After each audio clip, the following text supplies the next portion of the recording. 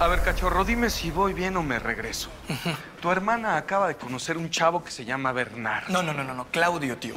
Claudio Ortiz. Es hijo de un diplomático argentino, no sé qué. Ok. Lo acaba de conocer y ya se fue a vivir con él.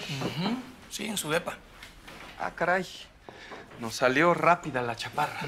Ella jura, jura que fue amor a primera vista. Está encandilada. Amor a primera vista. Aunque yo la veo feliz, tío. Si te sirve de consuelo. Ah, y ya tiene trabajo de corista en una banda de rock. Ah, no me digas. Bueno, es demasiada información para asimilarla de sopetón. Salud. Mi carnalita. Mm.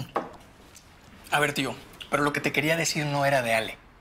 Era de otra cosa. Ah, no me vayas a salir con que tú también te vas a mudar, porque de veras que me da el sopetón ahorita mismo y ni se diga a tus padres, ¿eh? No, ¿cómo crees? Necesito un consejo. De mujeres. Ah, ese es mi cachorro. Para eso sí soy todo un experto. Pregunta lo que quieras. Mira, este conocimiento enciclopédico se está desperdiciando. Así es que suelta la sopa. Salud. Bueno, pues es que. Pues es que me gusta una chava. Ajá. ¿Y tú le gustas a ella? No, no, no, no me contestes esa pregunta ni se pregunta. Claro que le gustas, eres un Guzmán. Bueno, sí, creo que sí, pero. Pues no sé, es que tiene novio. Ah, un rival. Mira, lo primero que tienes que saber es que ese rival no te llega ni a los talones.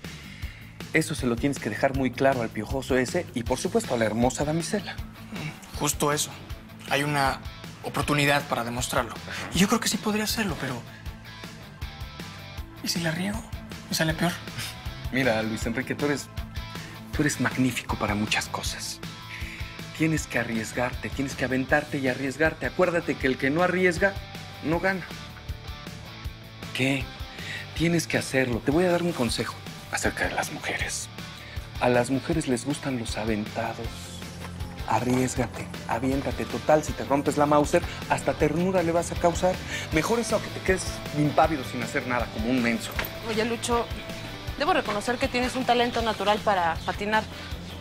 Pero la competencia es en dos semanas y de verdad esa calidad de competidores está muy alta. Pero yo sé que puedo, si tú me ayudas.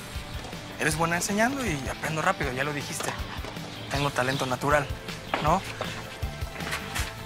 ¡Hey! ¡Hola! Hola, voy por una cerveza con unos amigos. ¿Vienes? ¿Te alcanzó? Va.